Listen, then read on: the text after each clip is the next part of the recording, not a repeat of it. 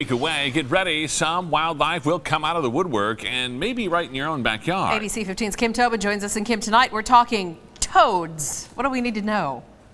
In some places, they're already being spotted a little early. Sometimes they like to burrow along your backyard walls or fences, or they might crawl into your pool. Experts warn about a specific poisonous toad, the largest one in our state, might be a major threat for your pets. So these are the two toxic glands right here behind the eyes. The Sonoran desert toad, native to Arizona, and it holds a reputation. This toad is the second most toxic toad in the world. Uh, it's only second to the cane toad in Australia.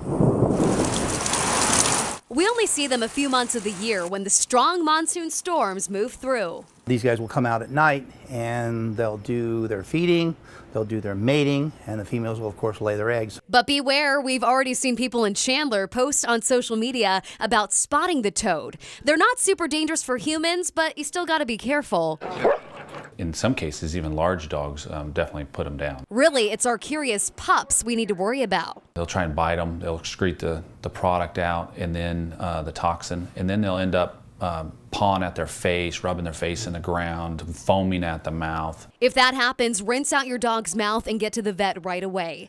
While a full grown toad is gross enough for a lot of people, their babies could be even worse. She will lay a ridiculous amount of eggs. If you've ever seen it, you will wake up in the morning and wonder what in the world has happened to my pool. The toad expert tells me make sure to check those pools right after that monsoon storm because you saw those eggs, that clear stringy substance with millions of black dots. If you spot those, you'll want to clean it out with a pool net right away. Reporting in Phoenix, Kim Tobin, ABC 15, Arizona. In our